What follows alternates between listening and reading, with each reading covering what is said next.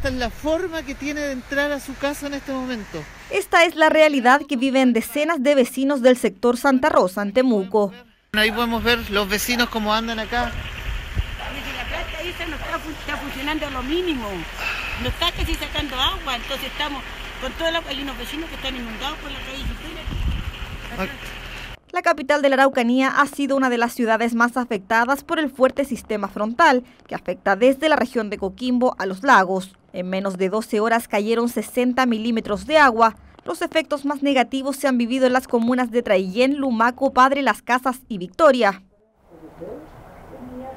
Pero una de las situaciones más peligrosas se vivió en la Ruta 5 Sur, en el acceso norte a Temuco, a la altura de la localidad de Cajón, donde un derrumbe dejó un vehículo completamente enterrado en el barro y piedras. En el Biobío la situación también es preocupante. Curanilagua está bajo alerta roja por el desborde de varios esteros y por el aumento del caudal del río Curanilagüe, que tiene a decenas de personas atrapadas en sus casas. Se están inundando más las, las casas en este momento, están echando el agua a los sitios. La población está completamente inundada. ¿sí? En este sector, en este sector está la población inundada, hay, hay, hay personas postradas acá atrás de la, de la sede y le están echando más el agua cada vez más. El viento en Concepción también provocó la caída de árboles y letreros publicitarios. Uno de ellos cayó sobre un peatón, en pleno centro de la ciudad. El hombre terminó con cortes en su cabeza y fue llevado hasta el hospital regional.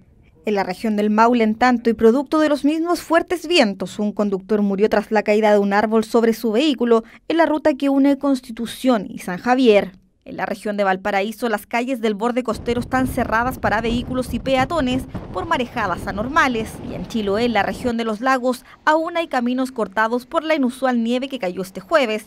Sin embargo, Ollancud lucía de esta forma.